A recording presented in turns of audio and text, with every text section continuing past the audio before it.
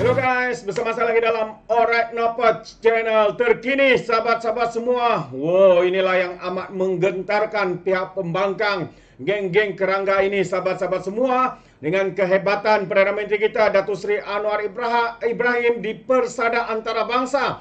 Ya dengan uh, dengan liputan yang begitu hebat ya di media-media antarabangsa. Pastinya ini akan membuatkan geng-geng kerangga ini kepanasan dengan membuat fitnah, dengan membuat tuduhan melampau dan sebagainya sahabat-sahabat semua.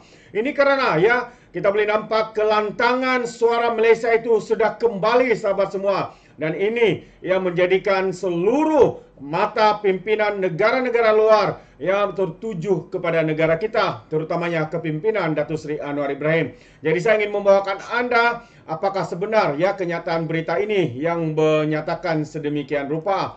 Jadi ini dia media uh, meskipun uh, hubungan antara Amerika Serikat dan juga China kurang baik, tetapi Malaysia bina hubungan baik ya dan ini uh, mendapat manfaat untuk negara kita. Itu antara kenyataan media. Eh, walaupun dua kuasa besar, ya China dan Amerika, Amerika Serikat tidak mempunyai hubungan yang baik, namun Malaysia mendapat manfaat daripada kedua-dua negara apabila mengambil pendekatan berbaik-baik dengan kedua-dua kuasa besar itu. Ketika ditanya oleh majalah Fortune, sebuah majalah antarabangsa yang berpusat di Amerika Serikat, Perdana Menteri Datuk Seri Anwar Ibrahim menegaskan Malaysia akan sentiasa menjalin dan mengekalkan hubungan yang kukuh dengan dua kuasa besar itu tanpa memihak kepada mana-mana negara. Ia dibuat untuk kepentingan Malaysia dan rakyatnya, kata Anwar dalam wawancara dengan Fortune Media antarabangsa yang ternama itu. Menurut Datuk Seri Anwar, Amerika Serikat dan China mempunyai sejarah panjang memupuk persahabatan dengan Malaysia dan mereka tahu kemampuan Malaysia, katanya lagi. Dan dengan itu, katanya negara tidak berdepan banyak masalah maupun delima dalam usaha cuba menarik lebih banyak pelaburan asing ke dalam Malaysia. Setakat ini, ya kita tidak uh, mempunyai banyak masalah. Kita sentiasa berkomunikasi dan mengekalkan hubungan baik. China adalah pemain utama dari segi pelaburan. Amerika Serikat pula kita telah memupuk persahabatan selama beberapa dekat, kata Datuk Seri. Dan mereka tahu reputasi dan prestasi negara kita. Ya, maksud saya beberapa uh, pemain utama terbesar telah berada di sini pada masa lalu seperti Motorola dan Intel. Mereka tahu kapasiti kami, kata Datuk Seri Anwar Ibrahim lagi.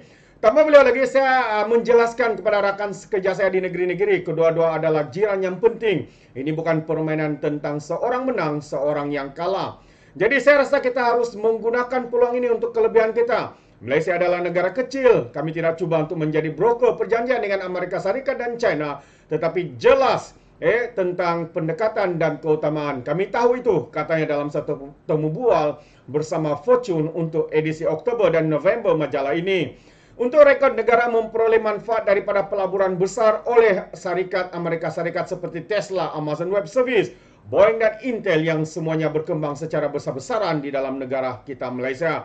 Manakala lawatan sulung uh, Datuk Seri Anwar ke China pada masa lalu pula menyaksikan Malaysia komitmen meraih komitmen pelaburan tertinggi berjumlah RM170 bilion daripada ekonomi kedua terbesar dunia itu. Oh, itulah dia sahabat semua ya. Satu uh, jawapan yang padu ya daripada Datuk Seri Anwar Ibrahim ketika ditemu ramah oleh satu majalah antarabangsa yang berpusat di Amerika Serikat, majalah Fortune. Memang terbaik. Ya, jadi saya juga uh, menarik saya juga untuk uh, mengungsikan satu lagi uh, kongsian berita. Ini adalah ulasan ya daripada uh, rakyat Malaysia sendiri eh, apa yang berlaku dan apakah faedahnya ya untuk negara kita ya terhadap ucapan Perdana Menteri di pertubuhan ataupun perhimpunan agung pertubuhan bangsa-bangsa uh, bangsa-bangsa. Jadi katanya Malaysia kembali lantang ya di persada antara bangsa itu antara kenyataan ya yang menarik untuk kita ikuti. Sebenar apakah maksud beliau ya uh, uh, penulis ini ya berkata seperti itu yaitu Edi Nur Ridwan katanya tiada siapa yang mampu menafikan betapa penampilan sulung Perdana Menteri Datuk Seri Anwar Ibrahim di Perhimpunan Agung Pertubuhan Bangsa-Bangsa Bersatu yang ke-78 sebagai telah mengamat, uh, telah menggamatkan dunia dan kegamatan paling ketara ialah apabila PMX dengan jelas dan berani tegas dan berani uh, memalukan negara Israel dengan menyifatkan penguasaan rejim berkenaan di Palestin perlu dinoktakan. Di hadapan muka Perdana Menteri Israel, Perdana Menteri kita mendakwa mereka telah merampas tanah dengan pembinaan lebih banyak penempatan haram yang mencabuli undang-undang antarabangsa ya serta mencabul hak asasi rakyat Palestin. Seterusnya sambil menempelak PBB secara direct di atas wawasannya yang sudah berkecai, PMX menggesa ya, negara seluruh dunia supaya lebih berperanan dan bertanggungjawab ke arah mewujudkan dunia yang lebih baik untuk hari esok. Kecaman PMX terhadap konflik pencerobohan Rusia ke atas Ukraine pula disifatkan sebagai mengundang mudarat dunia menjadi antara punca paling ketara krisis makanan. Kesan kenaikan harga, kekurangan stok, kebuluran dan masalah uh, malnutrisi Kecaman ini bukan bermakna kecaman dari seorang Perdana Menteri tetapi mewasara seluruh Malaysia, negara Malaysia, uh, uh, seluruh bangsa Malaysia dalam uh, menentang tindakan pencerobohan tersebut. PMX juga membanggakan dunia Islam apabila secara bersahaja mengutuk segala bentuk baharu perkauman Islamofobia yang merujuk stereotip terhadap Muslim dan tindakan biadab pembakaran Al-Quran di dunia Barat. PMX turut uh, mendesak segala bentuk diskriminasi terhadap wanita yang berlaku di Afghanistan dan mana-mana negara yang ekstrim supaya ditarik balik. Hal ini adalah satu yang jauh lebih eligible berbanding desakan tarik balik oleh Putrajaya di parlimen baru-baru ini. Tarik balik, duduk, tarik balik, duduk gitu antara yang berlaku. Jadi ucapan seorang Anwar Ibrahim di persidangan yang disertai lebih 140 kota kerajaan dan kota negara 6 naib presiden, 4 timbalan Perdana Menteri dan lebih 30 menteri di pentas unggah itu yang ke-78 begitu memaknai maksud tegas dan berani dan berbanggalah kerana dia made in Malaysia katanya. Seluruh rakyat Malaysia seharusnya berbangga dengan tepukan gemuruh yang diterima Perdana Menteri di, per, uh, di Perhimpunan Agung Bangsa-Bangsa Bersatu itu. Hari ini dapat kita lihat uh, di ruangan media sosial berbentuk uh, ekspresi perasaan Mega selaku rakyat Malaysia dan tidak berdosa rasanya jika pemimpin pembangkang mengutuskan serangkap pujian terhadap Perdana Menteri kita katanya. Terbaik sahabat-sahabat semua. Itu dia ulasan daripada Edinor Redwan ha, yang menyatakan ini adalah satu kebanggaan ya dengan suara Malaysia kini kembali lantang di persada antarabangsa. Tetapi yang lebih memalukan dan yang lebih memilukan adalah cubaan-cubaan daripada pihak pembangkang lebay-lebay walaun-walaun ya untuk mencuba memalukan Datuk Seri Anwar Ibrahim berkaitan dengan kehadiran. Kononnya Dewan Kosong tidak mau mendengar apa yang dikatakan oleh Datuk Seri Anwar Ibrahim. Ini semuanya adalah berlaku atas timing yang tidak berapa baik ya. Karena sebelum itu